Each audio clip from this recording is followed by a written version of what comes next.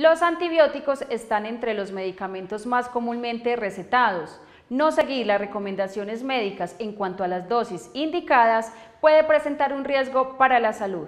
Esto es información de salud en Sonson TV Noticias.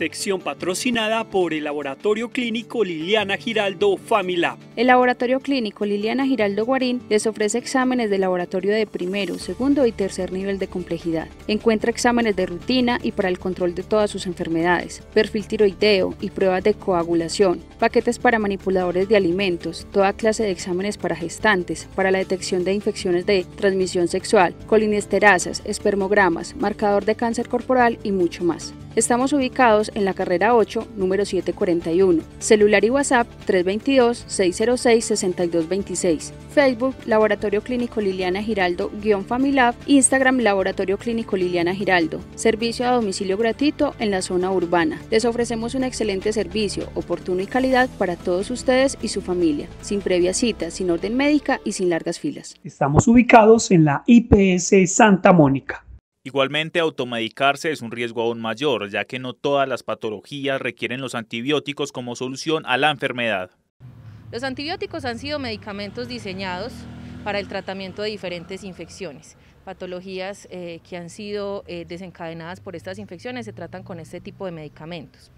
Es muy importante que nosotros eh, tengamos un buen uso de los antibióticos porque esto puede ocasionar que las infecciones se vuelvan resistentes. Si nosotros tenemos una molestia en la garganta, por ejemplo, que es lo más común, acudimos a la farmacia a adquirir un antibiótico y ese no es el camino, ¿cierto? Siempre con prescripción médica o con, em, o, con, exámenes médicos previos para saber puntualmente qué infección vamos a tratar.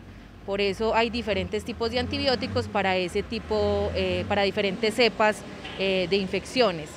Muy importante, las recomendaciones que se le da a las personas en sus casas. Tomar el tratamiento completo, si el tratamiento es por siete días, tomarlo completo, a las horas indicadas para que la curva de concentración no baje eh, y no automedicarse. Incluso desde diferentes entidades de salud mundial se ha hecho el llamado al control de la venta de antibióticos por las consecuencias negativas que tiene el mal uso en la salud pública. hay un hábito muy común entre las personas y es ir a la farmacia eh, sin tener la certeza de que tienen, ¿cierto? Entonces si tengo una molestia en la garganta yo me voy a tomar un matrimonio como lo decías tú, eh, que básicamente es un antigripal con un antibiótico eh, pero si no tenemos la certeza de que tenemos, es muy complejo saber y acertar a la infección. Eso también puede generar resistencia. Digamos que eh, es como apagar el incendio de a poquito, pero en realidad si no tenemos la certeza de, de cuál es la infección que necesitamos tratar, no vamos a poder acudir al antibiótico correcto. Podemos automedicarnos en la medida que tengamos el conocimiento de cómo hacerlo, pero en los antibióticos es diferente por lo mismo que les decía, se crea resistencia, no cualquier síntoma de gripa eh, es un llamado a tomar antibióticos. Entonces, eh, ¿cuáles eh, las indicaciones que ustedes deben seguir ante esto? Es acudir a una cita médica, acudir a su médico de familia para poder determinar cuál es la razón de esa afección y si realmente es una, es una infección, porque puede ser otra cosa. Es fundamental que ante cualquier enfermedad se acuda al especialista, ya que él está capacitado para recetar el medicamento indicado para cada dolencia.